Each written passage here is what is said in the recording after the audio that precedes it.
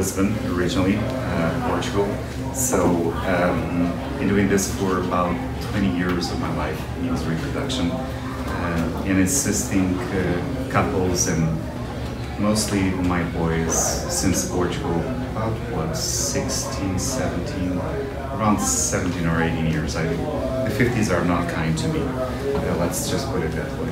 Um, but um, um, in doing, we, I was working, everybody, if they don't know my little bio, is uh, I'm a pharmacist that became a doctor, that became an OBGYN, that repeated OBGYN back again, and uh, that uh, did fertility at Columbia University, residency here at Baylor, and I've been working actually, I was working with Michael that had Connecticut fertility. And then um, I don't work there since uh, the last end of the year. Uh, the place has moved on into something uh, into something that you know they're going to move on, and I'm having the same thing that I've done all my life and will continue to do, but now in Greenwich, Connecticut. Um, so it's uh, it's it's a good facility uh, that we are finalizing, and it's open in August. Um, so this is a, this is an old me with a brand new exterior of me, uh, which is this time I get to pick the knobs in the car and you know all the structure of the new car that we are providing. Um, Technology-wise, um, the same thing that I implemented in my previous facility. I was a little bit more on the academic side on that part, especially in embryology, creating embryos and making sure that we, you know, increase the rates. And before genetics was a big thing, um, I, I was in that part of the genetics screening testing since back in my Baylor days, basically back in 2017, 2016, when we started to do a lot of research back at Baylor, and then I continued there. Um, so, um, what are we? Um, and I'm, I'm very blunt in saying this, which is uh, there are many facilities, as you know, and you've met facilities out there. They're all good facilities. What facilities?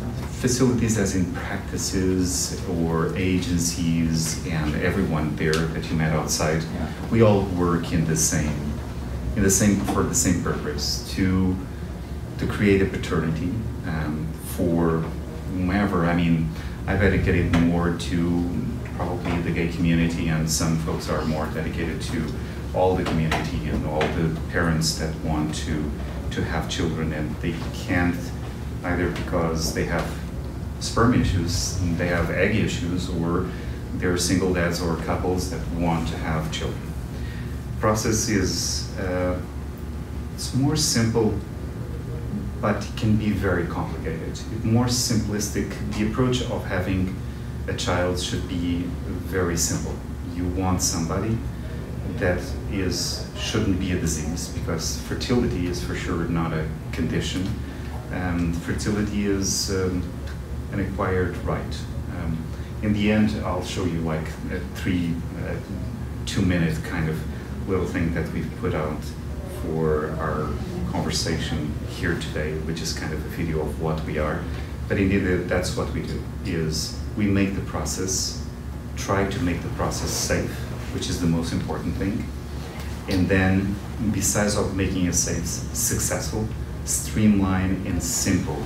And throughout all the years that I've worked in surrogacy, uh, egg donation, we call it third party because there is always a third party involved. Either it could be the egg donation or it could be also even the sperm, but in this case, the surrogate most cases. Um, the simple part, I usually tell everybody that is the most important part, is creating embryos.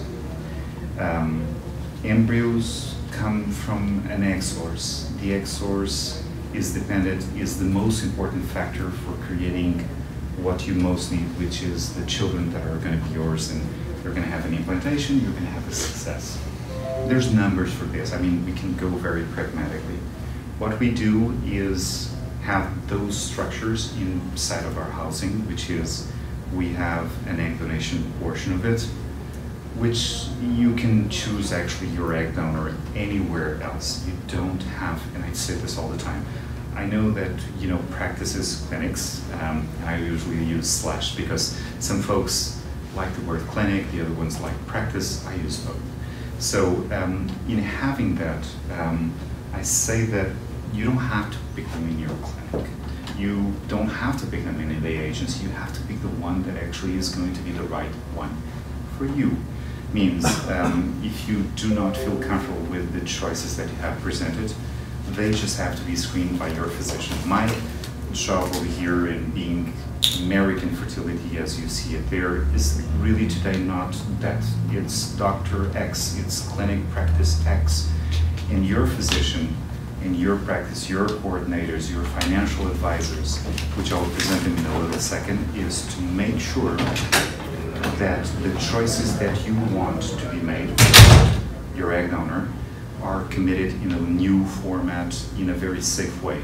She probably is a good candidate. Um, it's the first time that she is donating, but maybe um, this, uh, you know, exams that she does, she doesn't have a good quantity of eggs, or something else has happened, and you need to know that preemptively, and you're not going to be, or have to be, the, the ones intervening and saying, listen, I'm going to screen all these moments, and I'm going to be very effective because I will know everything that is going on. No, it should be your facility. Oh, please come in. How are you? Um, try to help us. Um, so your physician should be your screening, your safety guard for all that you're going to do.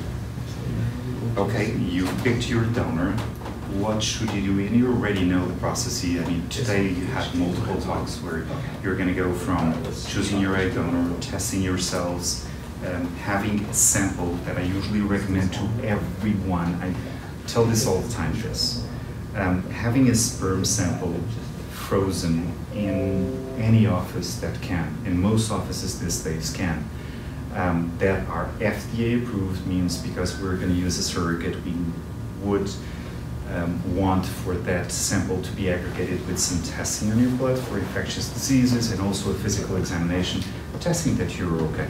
You froze it, it's valid for 400 years, 500 years, whatever it is that freezing is valid these days. And you have about, on average, 25 million of sperm that you're going to be able to finish often having them. And when I warmed them up, I thaw them, we're going to have the most likely sufficient sperm to use it for your cycle. Now, why am I saying all of this? Because you preemptively can already be done with a portion of the part of the process that you're going to initiate. Your egg donation, you chose, you went through your physician, he said, it's an okay decision, we are committed with this, she gets her screening, you get your screening, which is also genetically done, and that genetic between you and her needs, it's the only time that you need really not to match. If you have something, no matching with her because matching a potential problem that you could have on your own blood could have an increased risk of about 25%. A table of 2 by 2. She has something, you have something, you're not going to have the disease because you know one of your relatives passed it on to you. I have two of those, by the way, and I only have one of my children with it, unfortunately. Uh, oh, already five minutes. Okay, very good. Oh, I didn't know that. Wow, was that went fast. That went fast. The 20 minutes. Um, anyways, let me. I will continue anyways. If I don't finish, it's you know I preferred a good conversation um, than a rushed conversation that we don't also finish appropriately. But the surrogate is an important piece. But again, the choices for a surrogate, you're going to have it with your agency. There is a lag there. And we work, I know most of the agencies, and I've been working with them for years. Um, all the people over here, out there, and many other people that are valid throughout the country. And them and your clinic are going to actually interact very well together and try to make the best choice for your surrogate, which indeed is going to be the implantation part. You're going to have an implantation, you need to make sure that she's valid for that. She will come for screening at the clinic, she will spend the day with us or with any other facility that does the screening, and then you're going to have that confirmation, you finish contracts, and then there is the step, which is the transfer day. And the transfer day should be actually, I usually say, more serene day. Everything was already done. And I know that, you know, all, all that I touch base with that go through this process is, this is the most nerve wracking moment because there's going to be the transfer of my embryo in. But actually, it's a very safe procedure, a very replicatable procedure. Many times we do this, and it's not the act that is going to be the determined factor. What determines really is all of the other things that we did before. So, um, trying to tell you what American fertility is, is we are a group of people that are very experienced in this. Kathy Oaks over there is my financial director. Say hi. Hello. Um, and I have also Shante. And Shante Rivera Bonilla is my coordinator. And they've been doing this individually, one for 18 years, and the other one for about 15 to 16, if I'm not mistaken, and I'm sorry to be dating you. Um, so, in terms of what they do, we do it very well. Um, it's a choice. Um, I know that as any, you know, producing a new facility, even though, you know, being old in this and being experienced in this, it's always a momentum different than the past come and check us out. Our, I think I, I'm supposed to be able to transfer the most important message. It's not that we are most affordable, which we probably will be. It's not that we are in Greenwich, which is a very cosmopolitan and very aggregating place for many.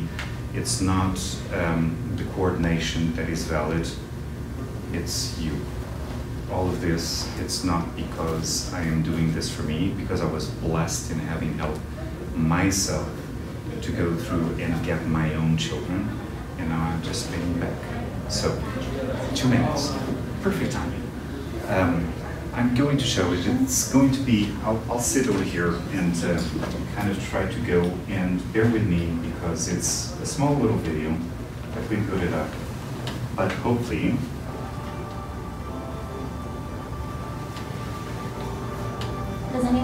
questions? Do you have any questions? Well, we talked, but because I think 20 minutes went by so fast. it's okay. Seems So- like ten. Yeah. It's a good place. Actually, part of this is um, um, the inspiration was to have the first practice in the United States to really come out. Sorry, I had to use my own words. Uh, and say this: We are a third-party egg donation surrogacy facility that it is going to be dedicated for that nothing wrong in my colleagues that do surgery or you know other procedures very well. I just we develop a very good skill set and a heart for what we do. And besides of the heart is we have to be precise and you need something that is going to work for you. Build your Excel sheet like I tell everybody. Uh, build your own program list to talk to everyone um, see the difference. It's not in this 20 minutes that I wish that would not come so fast in trying to figure out if it clicks, it clicks, but always have a pragmatic side on all of this and say, listen, um, you seem like a good person, can be me or any other person, can be an agency or a clinic, but you need to be very precise and say, listen, this is the best for me economically, pragmatically, and also, yes, somebody that will take good care of you. Any of us